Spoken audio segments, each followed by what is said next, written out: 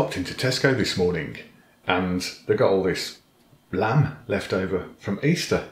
Look at the price. The yellow sticker action was £12.63. I managed to get it for £4.79. It's more like it, look at that. It's like a nice piece as well. Isn't it? A decent leg. We've got uh, 0.9 of a kilogram of lamb here. So what I'm going to try and do is air fry it. So I'm going to wrap it in foil, but actually first I'm going to take it out, I'm going to put some salt on it, some black pepper. And I'm going to wrap it in foil and shove it in there. The actual cooking instructions says do for six minutes per 100 grams for medium or eight minutes per 100 grams well done. Now I'm a well done kind of person, as you probably noticed from the Wagyu. So I'll be doing it for eight minutes per 100 grams. And it says based occasionally with cooking juices. So we'll see how that goes as well. Right, let's get on with it. So firstly, let's get some foil out.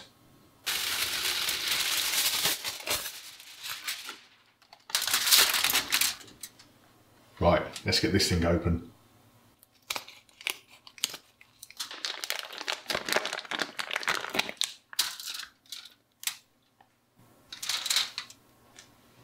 Okay, let's season it up.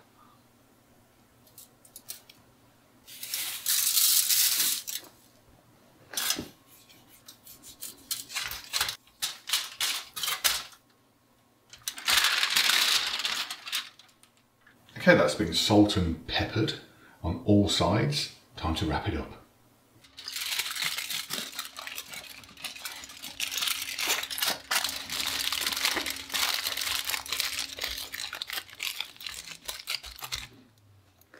The cooking instructions do specify to cover it loosely in foil, so I don't think this little hole is going to make much difference.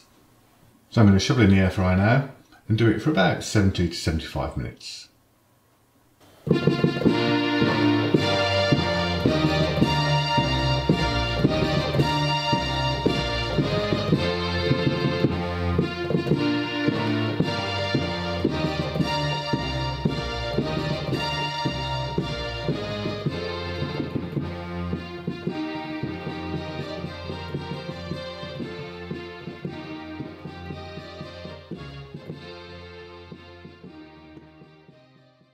So it's had 55 minutes in the air fryer.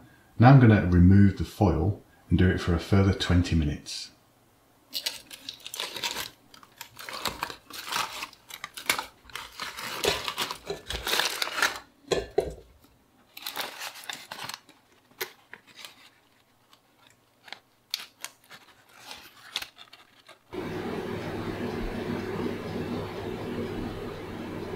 Alright, I'm just going to give my meat a bit of a rest because it's had a good old seeing to. Now we'll have a closer look at it. Alright, so here's the finished article after 10 minutes of resting.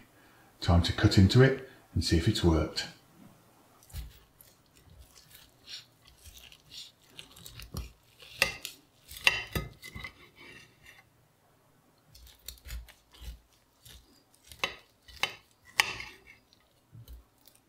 Looking pretty good from here. I do like it well done with a tiny bit of pink here and the fat a little bit crispy on top.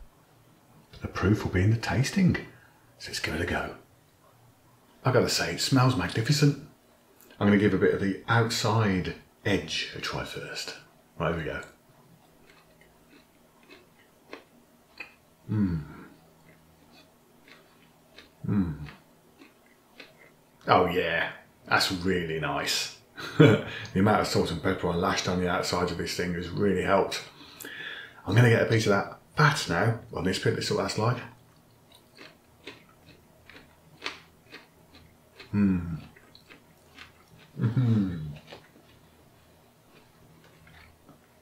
Hmm. Yeah. I prefer it with a bit of the fat on it because obviously it adds to the overall flavour. This is lovely. What I'm going to do, I've just got this weird idea because I do like steak and cheese and I just wondered what lamb and cheese might be like. So I'm actually going to get a bit dirty.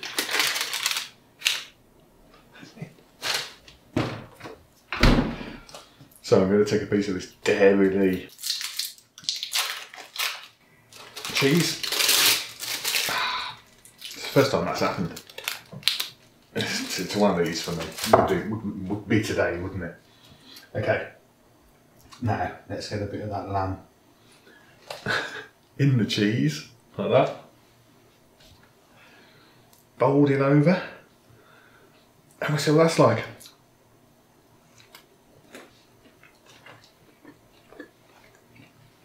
Oh.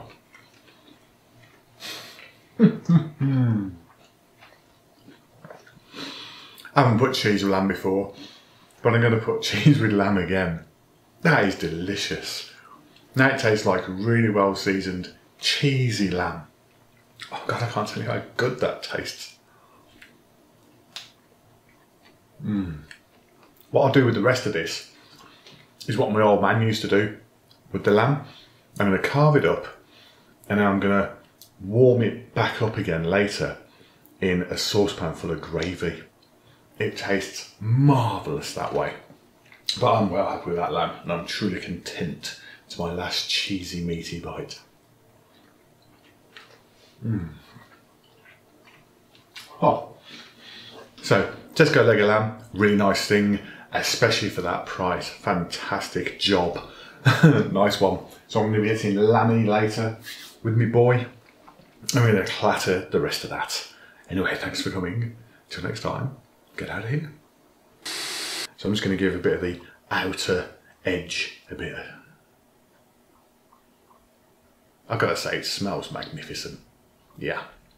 I'm going to give a bit. I don't like it pink or. So, Tesco leg lamb